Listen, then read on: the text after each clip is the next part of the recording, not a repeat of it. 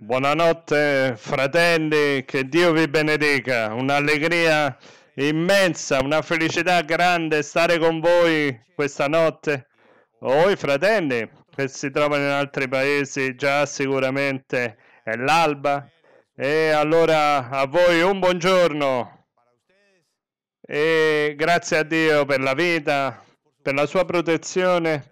Grazie al Signore per il suo aiuto perché Lui sta al nostro lato perché sappiamo che preghiamo e Lui ci ascolta e compie le sue promesse che ci ha dato attraverso la profezia, i sogni e le visioni. Gloria al nome del Signore. Potete sedervi e mi condividevano una testimonianza di una famiglia in Messico che stava passando per un momento difficile economico adesso nella pandemia e loro pregarono il Signore perché le risolvesse questo problema in, modo, in che modo Dio ha risolto questo problema. Al lato della casa dove vivono c'è un'altra casa dove hanno alberi e hanno un albero di avocado molto grande e quest'albero da un momento all'altro ha iniziato a riempirsi di rami che hanno preso la direzione verso la casa dei fratelli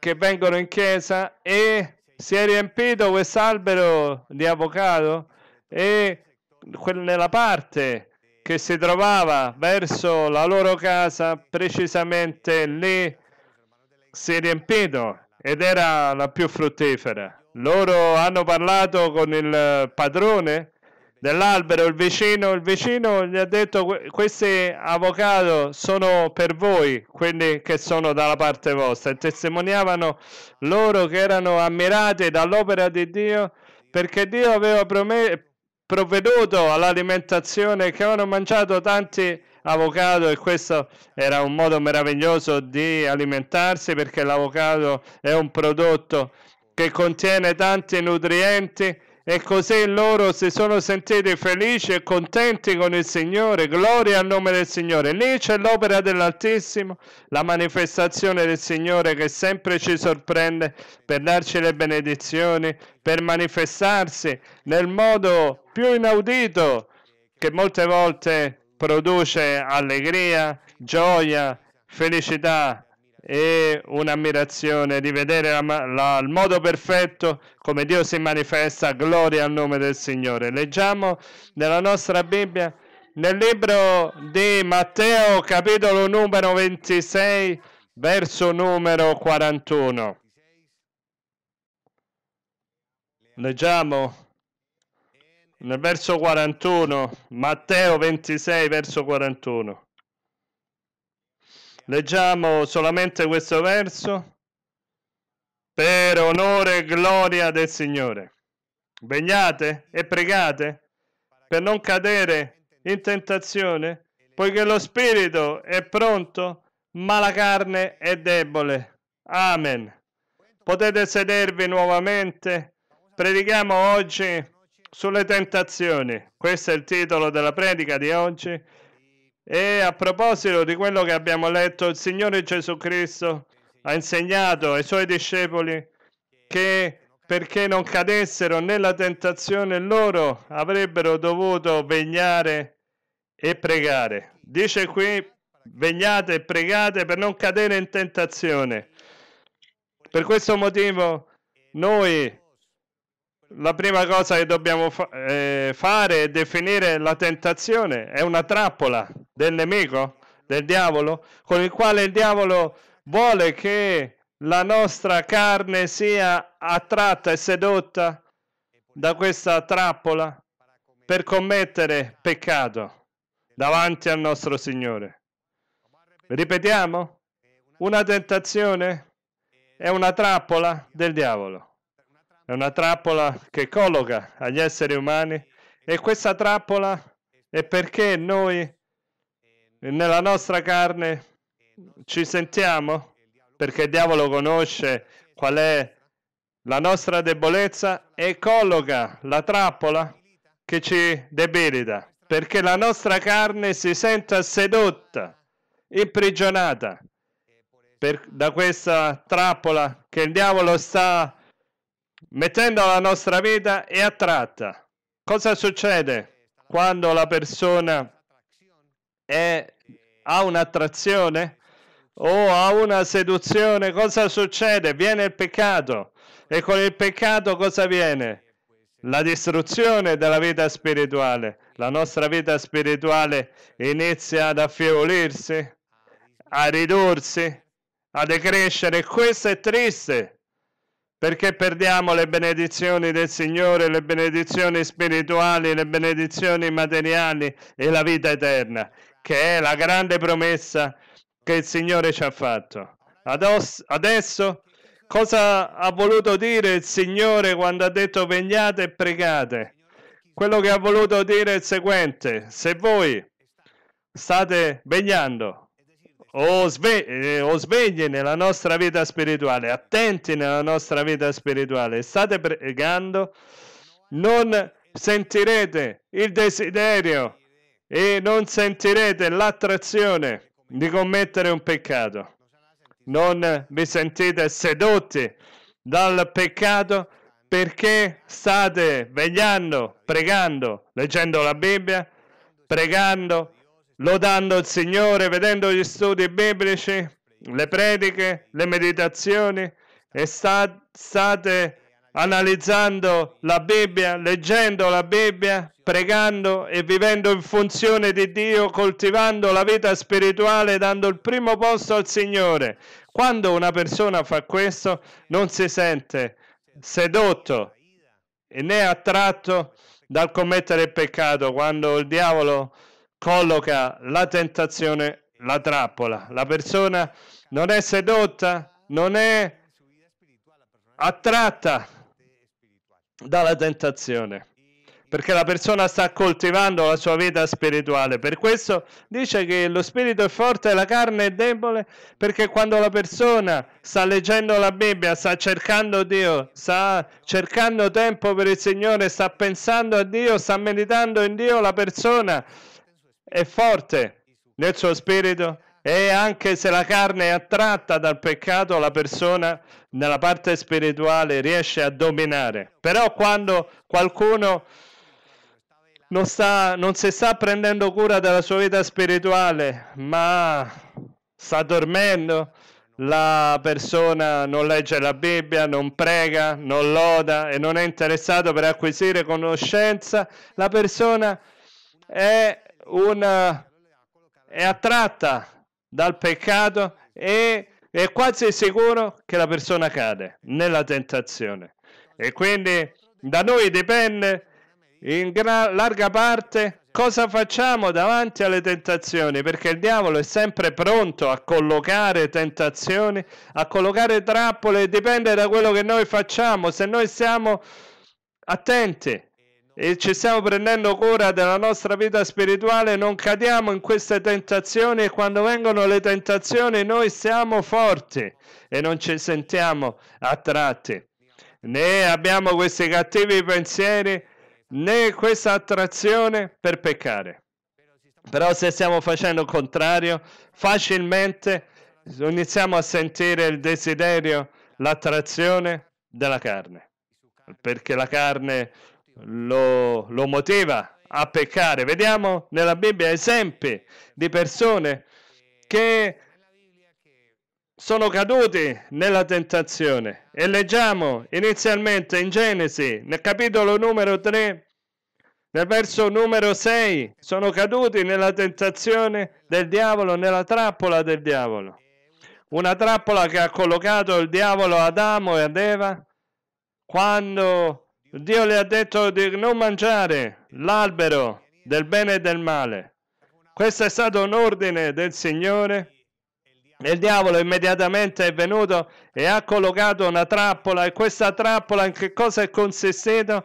Che ha detto alla donna nel verso numero 4, Genesi 3, 4, allora il serpente disse alla donna, voi non morirete affatto, ma Dio sa che nel giorno in cui ne mangerete Gli occhi vostri si apriranno e saprete, sarete come Dio conoscendo il bene e il male. La, la, donna si è sentita attratta, la carne si è sentita attratta da questo albero perché era, vedeva che era buono da mangiare, piacevole agli occhi e per questo motivo la donna ha compiuto questo passo di commettere, di mangiare di questo frutto ed è caduta nella tentazione. Dice nel verso 6, la donna vide che l'albero era buono da mangiare, che era piacevole agli occhi, che, che l'albero era desiderabile per rendere uno intelligente.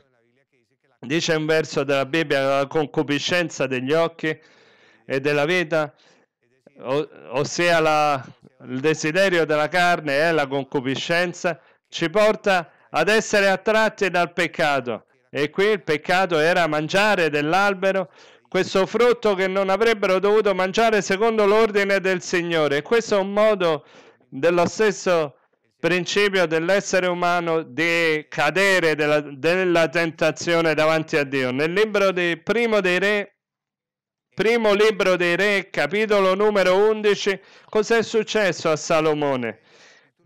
Primo libro dei re, capitolo numero 11, a Salomone è successo qualcosa che Dio aveva già in Deuteronomio detto, che quando avessero avuto un re, questo re non avrebbe dovuto avere tante donne perché queste donne potevano inclinare il cuore, potevano volgere il re e trascinare il re all'idolatria che si dimenticasse di Dio e nonostante questo era il comandamento del Signore e per questo il diavolo colloca la trappola perché la persona si senta attratta da qualcosa, la sua concupiscenza, la sua carne cada e rompa il comandamento del Signore. Nel caso di Salomone, a lui si è dimenticato il comandamento e non l'ha tenuto presente e ha avuto tante ricchezze ed è stato attratto da tante donne di diversi popoli. E le amate, dice la Bibbia che ha avuto tante donne. E si è sentito attratto da questa situazione. E cos'è successo? Che tutte queste donne appartenevano a diversi popoli, a di- diverse nazioni vicine, tutte queste nazioni avevano dei dif- diversi ed erano idolatre e queste donne lo hanno influenzato e hanno sviato il loro cuore. Lui è caduto nel peccato dell'idolatria, non è stato perfetto in questa parte davanti al Signore perché è caduto in questa tentazione. E dice la Bibbia nel primo libro dei re, capitolo numero 11, verso 1, ma il re Salomone, oltre alla figlia del faraone, amò molte donne straniere, le Moabite, le Ammonite, le Idumee, le Sidonie e le Itee. Dice la Bibbia nel verso, parla del numero di donne, nel verso 2, appartenenti ai popoli di cui l'Eterno aveva detto ai figli di Israele, voi non vi unirete in matrimonio con loro, né essi con voi, perché essi faranno certamente volgere il vostro cuore verso i loro dei. Ma Salomone si unì a tali donne per amore, ha sentito un'attrazione per questo e dice nel verso 4, così quando Salomone fu vecchio, le sue mogli fecero volgere il suo cuore verso altri dei. Il suo cuore non appartenne interamente all'Eterno, il suo Dio, come il cuore di Davide suo padre, caduto nell'idolatria. Adesso vediamo cosa è successo a Davide. Nel primo libro di cronache, capitolo numero 21, primo libro di cronache, capitolo numero 21, Davide sapeva che quando lui sarebbe andato alla battaglia non aveva necessità di censire il popolo, di guardare quanti soldati egli aveva perché chi avrebbe lottato e accompagnato nella battaglia sarebbe stato il Signore e non avrebbe dovuto contare il suo popolo solamente confidare in Dio e andare alla battaglia. Però Davide si è fatto trascinare e istigare dal diavolo, ricordate che la tentazione è una trappola che il diavolo colloca. Questo la Bibbia lo insegna nel libro di Giacomo, capitolo numero 1, lì la Bibbia insegna che le tentazioni non vengono da Dio, ma che le tentazioni vengono dal diavolo. Sono trappole e in queste trappole la, i figli di Dio e gli esseri umani generalmente sono provati. Le tentazioni sono prove e sono trappole del diavolo, non di Dio perché Dio non può fare del male a nessuno.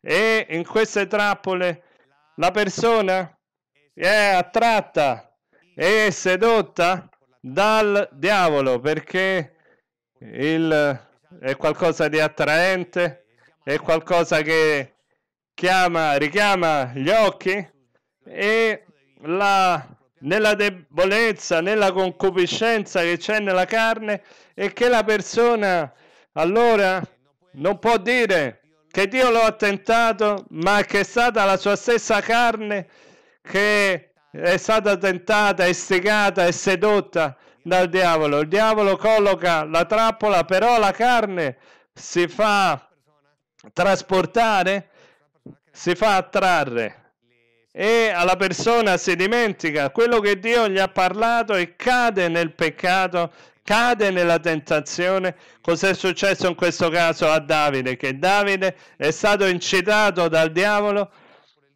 e è stato cioè tentato dal diavolo che gli ha collocato una trappola e Davide ha voluto contare il popolo e questo è stato un peccato davanti al Signore. Primo libro di cronache 21.1 ora Satana si levò contro Israele e istigò Davide a fare il censimento di Israele.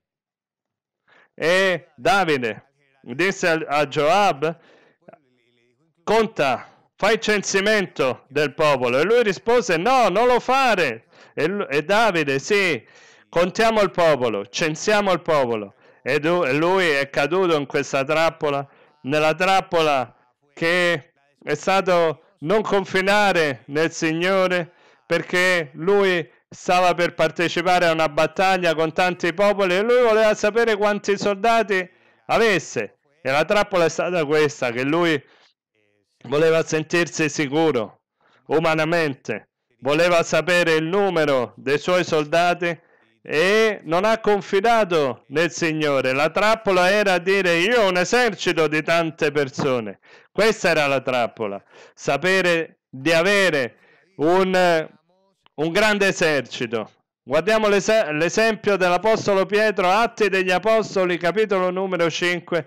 Cos'è successo all'Apostolo Pietro? Che l'Apostolo Pietro ha avuto una situazione con Anania e Safina, che loro avevano venduto un potere e avevano detto all'Apostolo che quando avessero venduto questo potere, loro avrebbero portato parte di questa alla Chiesa perché la potessero destinare a tutti i lavori di evangelizzazione. Cos'è successo con Anania e Safira? Che loro hanno venduto la proprietà e quando hanno avuto il denaro tra le mani il pagamento di questa proprietà, loro sono caduti nella tentazione. Quale tentazione? La trappola che il diavolo ha collocato, nella quale la loro carne ha visto che era tanto denaro e hanno detto no, diciamo una bugia, diciamo che è stato il abbiamo ricavato di meno e questo è il modo con cui sono caduti nella tentazione. E così hanno, hanno avuto una distruzione nella loro vita materiale e spirituale, è venuto un castigo, una riprensione grande da parte del Signore. Questo lo troviamo nel libro degli Atti degli Apostoli, capitolo numero 5, verso 3. Ma Pietro disse, Anania, perché a Satana riempito il tuo cuore per farti mentire allo Spirito Santo? Perché ti sei fatto sedurre e hai mentito allo Spirito Santo e hai sottratto una parte del prezzo del potere, non avresti dovuto commettere questo peccato, non cadere in questa tentazione.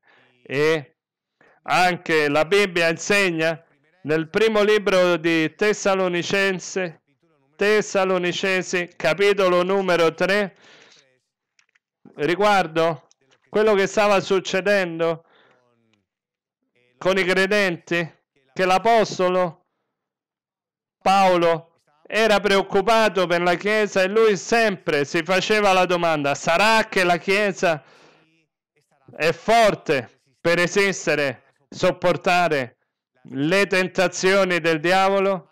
Perché fratelli, il diavolo tutto il tempo è come un leone ruggente cercando chi divorare. Noi allora dobbiamo sapere che nella vita pratica è che il diavolo sta guardando il momento in cui colloca una trappola che può essere come quella che abbiamo detto, oppure una, un incidente, oppure una malattia, o adesso che siamo nella pandemia può arrivare una malattia, in qualsiasi momento può arrivare un contagio.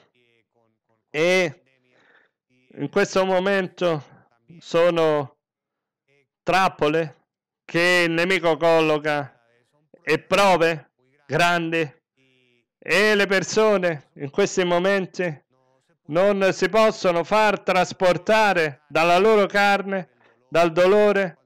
Quando la Bibbia dice che la carne è debole è questo che la persona si sente mal- malata, si sente e mentre non sta cercando il Signore, non sta vegliando la carne, diventa triste e melanconica che Dio l'ha abbandonato, che si sente deluso dal Signore e la persona, anche se una persona cara si, si ammala o se Dio determina che una persona eh, perde la vita, la persona arriva a dire me ne vado dalla Chiesa, se la persona non sta vegliando, eh, che non comprende che alla fine è la volontà di Dio e che Dio è il padrone della vita, però il diavolo può collocare trappole anche se noi stiamo in chiesa, noi se non siamo afferrati al Signore, se non stiamo pregando, non stiamo vegliando e dando il primo posto al Signore e siamo lontani dal Signore, perdendo tanto tempo, siamo nel materialismo, noi di fronte a una situazione di questa, una persona può perfettamente dire me ne vado dalla Chiesa, non credo in Dio, Dio non esiste, è una bugia, è, è tutto falso. In questo modo si può manifestare la tentazione. E per questo motivo l'Apostolo Paolo sempre era preoccupato, sarà che voi sopportate la tentazione? Quando il diavolo viene e colloca la trappola? Questa era la domanda che lui si faceva e diceva sì, sarà che trovo fede, trovo credenti che credono che Dio esiste, che Dio è spirito, oppure tornano indietro e vanno via dalla Chiesa e sono infedeli? Questa era la grande domanda che si faceva l'Apostolo Paolo nel primo libro dei Tessalonicesi, capitolo numero 3, verso 5. Per, qua, per questa ragione, non potendo più resistere, io pure mandai ad informarvi sulla vostra fede. Io voglio sapere se voi siete, siete nella fede, se voi siete saldi nella fede, che talora il tentatore non vi avesse tentate. Questo è, è il preludio del peccato, perché voi quando iniziate a sentire il desiderio di commettere un peccato, voi dite già sono nella tentazione, il diavolo mi sta tentando e dire eh, perché mi sto sentendo attratto da questo. Per questo una persona che si sente attratta dalla pornografia è perché non sta leggendo la Bibbia, non sta pregando. Se uno inizia a sentire il desiderio di vedere la pornografia, o la sta vedendo perché questa persona non sta pensando in Dio, non sta leggendo la Bibbia, non sta pregando, non sta velando, non sta trovando tempo per il Signore. Allora voi stessi e tutti noi dobbiamo analizzare se sentiamo attrazione per, per queste cose. Voi dovete dire no, io sto camminando male nel Signore, il diavolo mi sta mettendo una tentazione e quando uno sente questa attrazione per commettere il peccato perché già il diavolo lo ha messo nella tentazione e vi vuol far cadere. E quando commettiamo il peccato noi cadiamo nella tentazione e se uno si sente solamente attratto, sedotto dal, dal, e, e, avvicinandosi a questo, voi dovete dire no, no, il diavolo mi ha messo nella tentazione, io non faccio questo. Il diavolo mi ha messo nella tentazione, Signore proteggimi, perdonami se io sto in questo è perché mi sto dimenticando di te, non sto trovando il tempo e non sto pregando e sto perdendo il tempo perché io se stessi cercandoti non sarei sentendo l'attrazione per la pornografia per esempio. E qui c'era il desiderio di uscire dalla chiesa dire no che Dio non esiste. E dice qui per informarvi della, informarmi sulla vostra fede che talora il tentatore vi avesse tentato la vostra fatica non fosse riuscita vana. E lui si è reso conto che loro erano, erano fermi nella dottrina del Signore, che è venuta la scarsità economica, si è perso l'impiego, i fratelli che non avevano da mangiare, però loro sono stati fermi confidando nel Signore e Dio l'ha risolto con l'avvocato e ha provveduto alle loro necessità. Però ci deve essere questa costanza di credere e di mantenerci nella fede. Così è come l'Apostolo Paolo insegnava ai Tessalonicesi. Vediamo adesso esempio, di fronte alla tentazione abbiamo due opzioni. Quando noi siamo tentati e abbiamo la prima opzione, scappare, fuggire dalla tentazione. L'altra opzione, e viene la tentazione e voi dovete riprendere o rifiutare la tentazione e richiamare l'attenzione a chi sta promuovendo la tentazione, la persona, lo strumento del maligno che sta promuovendo la tentazione alla, alla, vostra vita. E nel libro di Genesi, capitolo numero 39, insegna la Bibbia che Giuseppe è scappato dalle mani di una donna che voleva sedurlo, che voleva attrarlo e lui era una persona che era molto ferma nella sua vita spirituale, saldo nella sua vita spirituale, per questo è fuggito dalle mani di questa donna. E dice la Bibbia che letteralmente lo stava forzando, però lui è fuggito. Dice nel verso 12, allora ella lo afferrò per la veste e gli disse, coricati con me. Ma egli le lasciò in mano la sua veste, fuggì, lì c'è la parola, fuggì dalla tentazione. E questo è un esempio meraviglioso di quello che noi dobbiamo fare, fuggire dalla tentazione. Esempio, se una persona nel lavoro, nell'impiego, era assediata, un fratello della chiesa dice che una donna, padrone dell'impresa, lo cercava per fargli proposte. E lui era sposato.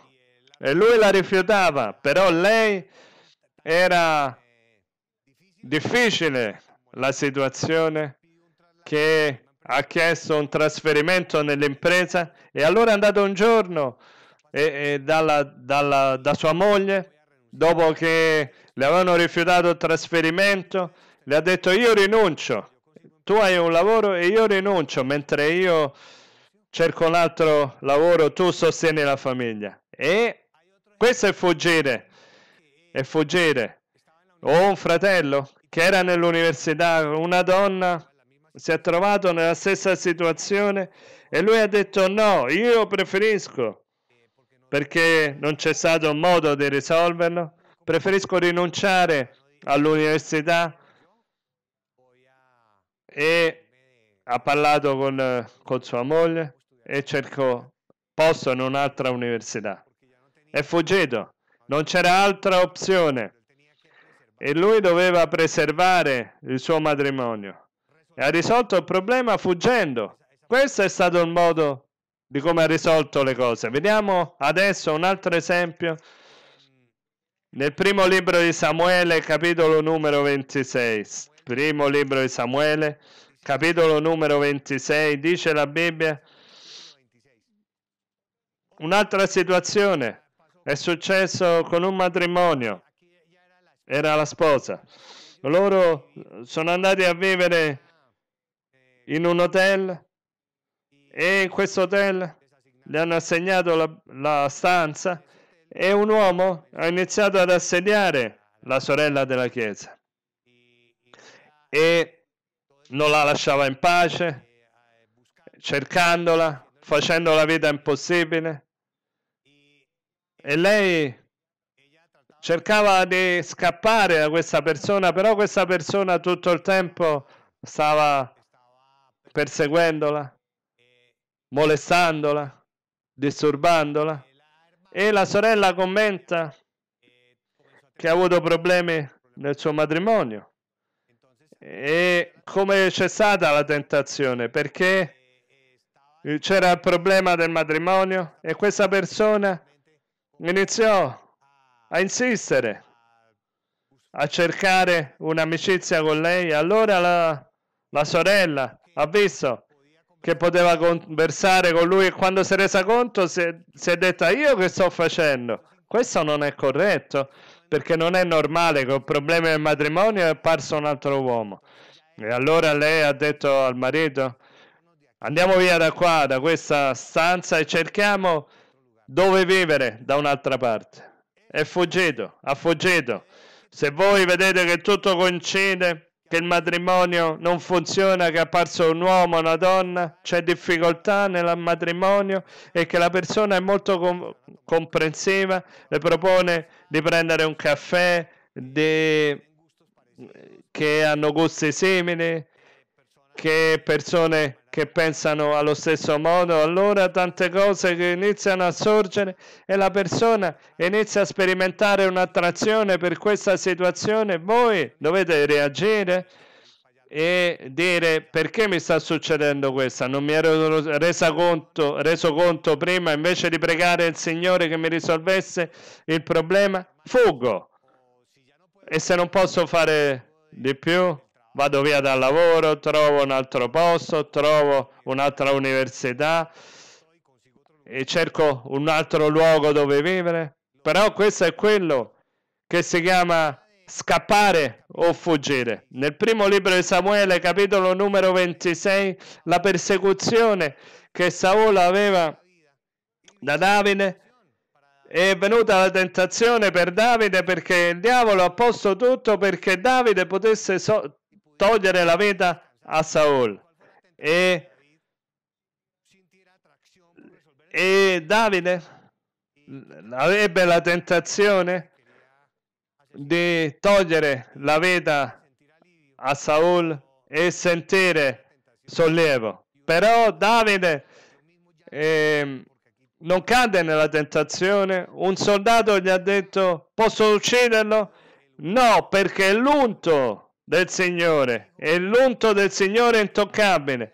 E dice anche che hanno commesso un errore perché hanno tolto un, una parte del manto del re e Davide ha sentito che aveva commesso un errore grave. Però Davide, eh, per Davide era chiaro che contro l'unto del Signore non poteva fare nulla perché era una trappola che il nemico aveva posto alla sua vita. Nel primo libro di Samuele, capitolo numero 26, verso 7 fino a 9, dice nel 9, ma Davide disse a Abisai, non ucciderlo, chi infatti potrebbe stendere la mano contro, del, contro l'unto dell'Eterno senza rendersi colpevole? Scappiamo, andiamo via. Io confido nel Signore.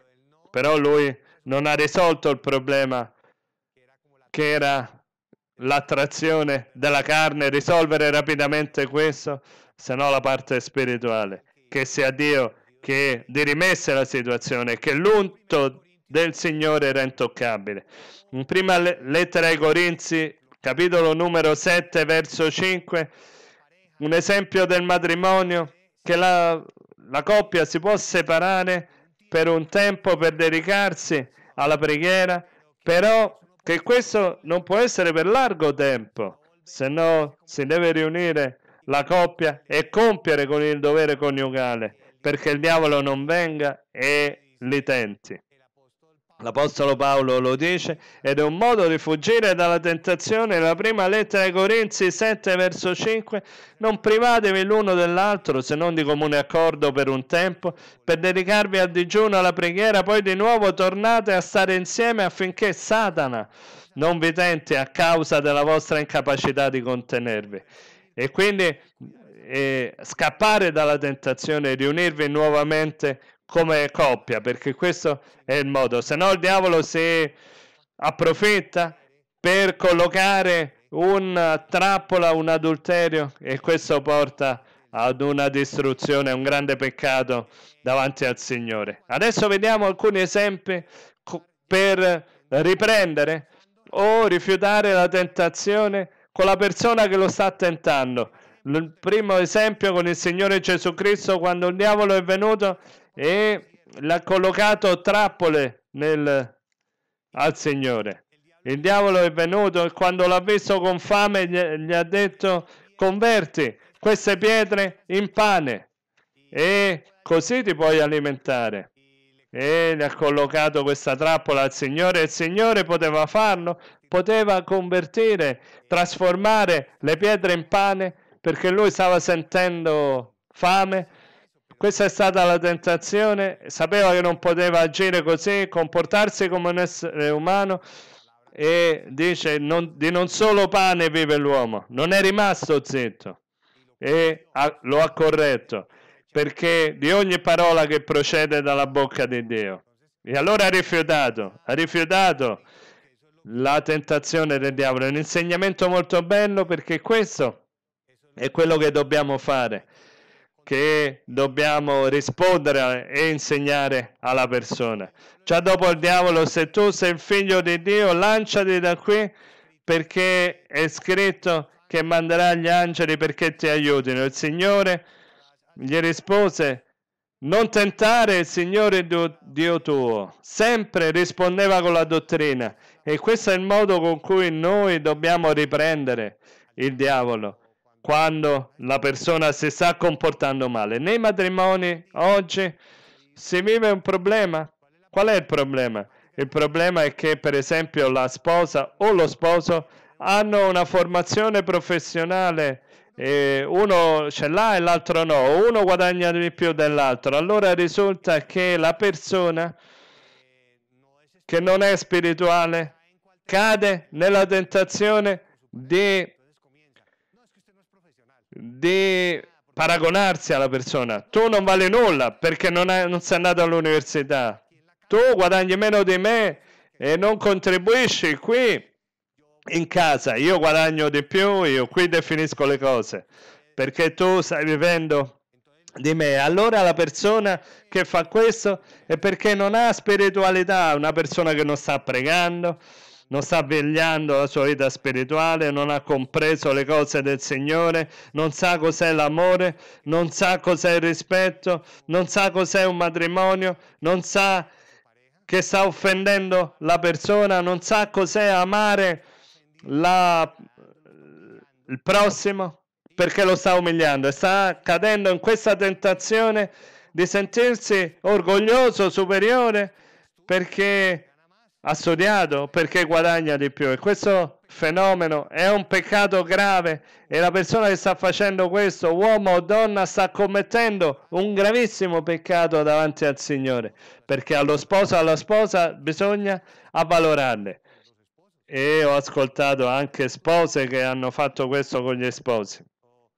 O li umilia, e, o io guadagno più di te, non puoi parlare anche se il marito lavora o sta cercando lavoro. E allora la persona è caduta nella tentazione per il suo orgoglio di entrare nella discussione, di non rispettare e avvalorare la coppia e cade nella tentazione. Commette un grave peccato davanti al Signore e lo sposo cosa, cosa deve rispondere? Perché mi parli così?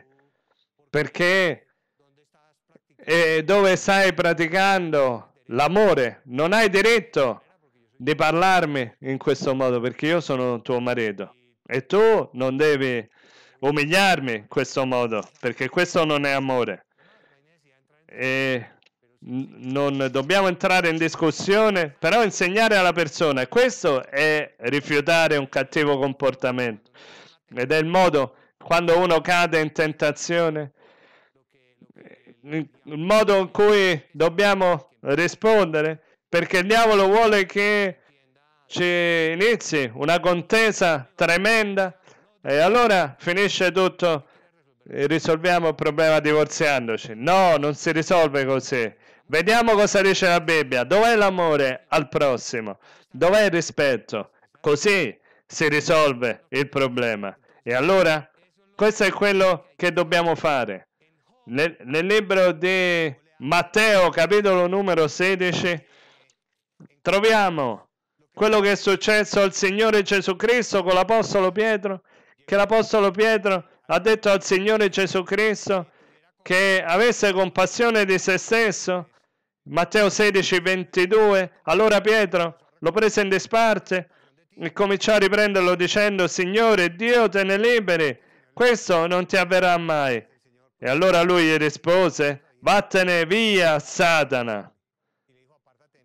Oggi non lo facciamo così, però lo possiamo, possiamo scoprire che una persona che è posseduta dal diavolo gli fa una proposta, una proposta indecente. E questa si applica per esempio per un furto, per tutti i peccati.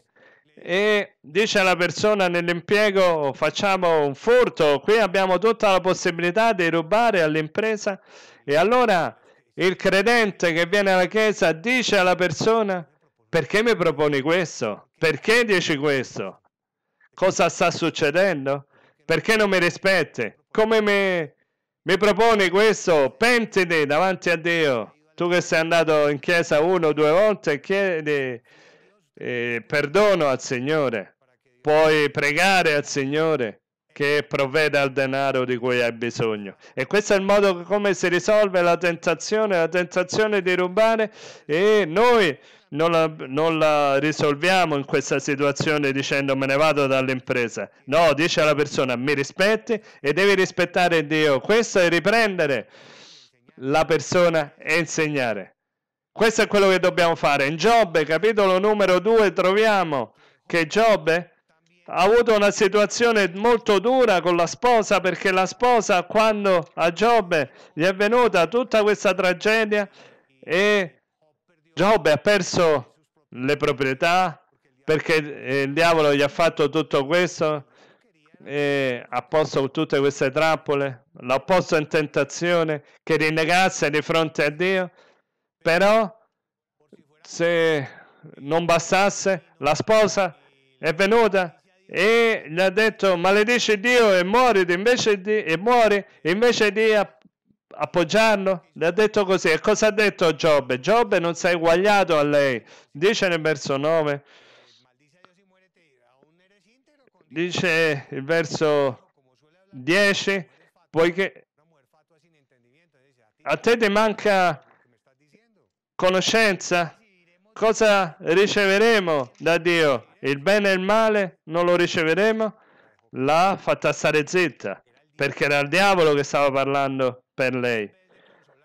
Perché invece di consolarlo, appoggiarlo e aiutarlo, lei invece di dargli una mano lo stava offendendo, lo stava umiliando. Ed è stato bello come, come Giobbe le ha parlato dicendo tu parli come parlerebbe una donna insensata e di fronte alla tentazione noi possiamo rispondere così e coscienti quando il diavolo ci sta usando perché uno si pone altezzoso, maleducato, tratta male i figli o la sposa, uno dice il diavolo mi sta usando per mettere tentazione agli altri perché anche gli altri diventino iracondi con me. E qui tutti qui pecchiamo. Signore, perdonami, mi sta mancando preghiera. Perché uno deve identificare quando sta diventando strumento del diavolo, quando altri stanno diventando strumenti del diavolo.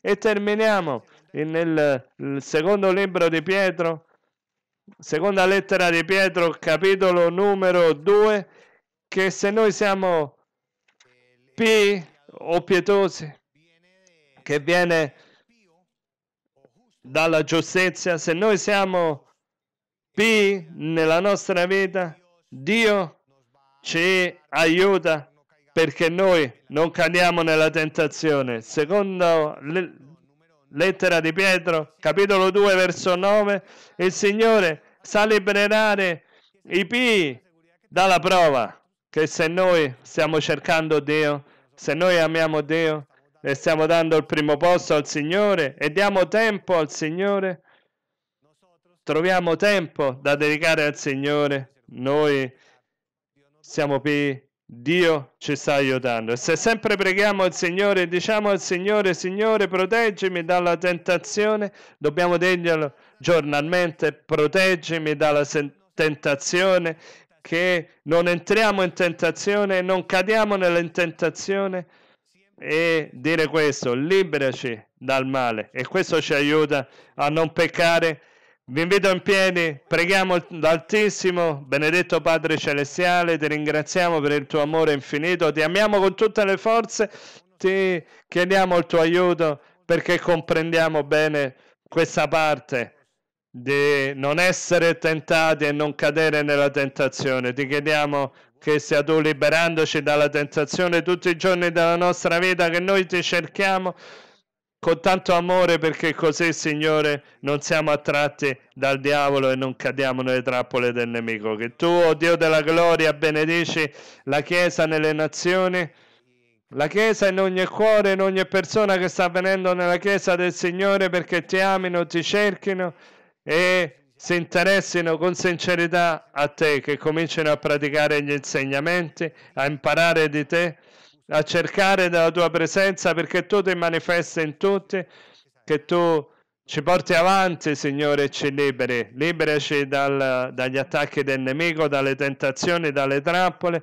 dai pericoli di morte, dalle malattie, dalle infermità, dagli accidenti, dagli incidenti, dalle scarsità economica e vieni alla nostra vita con lo Spirito Santo. Doni meravigliosi del consolatore, il potere dall'alto, l'autorità, un profondo timore a te, amore al Signore, un rispetto, un'ammirazione, un desiderio di fare la tua volontà e di compiacerti. Stai con la nostra sorella Maria Luisa, proteggila, benedicendola, aiutandola proteggendola e dandole la salute meravigliosa e tanti anni di vita perché ogni giorno di più possiamo bere di questa fonte meravigliosa che hai posto attraverso la sua leadership.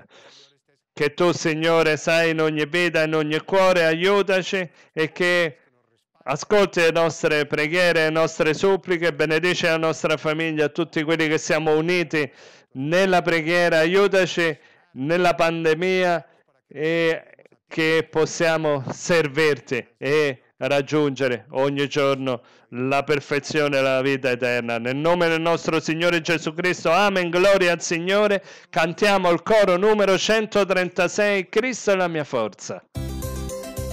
Grazie, Grazie Signore, gloria a te, alleluia. Benedetto il nome del Signore, ti amiamo, ti adoriamo e ti ingrandiamo. Per te viviamo Signore, gloria a Dio, gloria al nostro Dio, lode al nome del Signore. Benedetto il Re della gloria, benedetto l'Altissimo, l'Altissimo, gloria.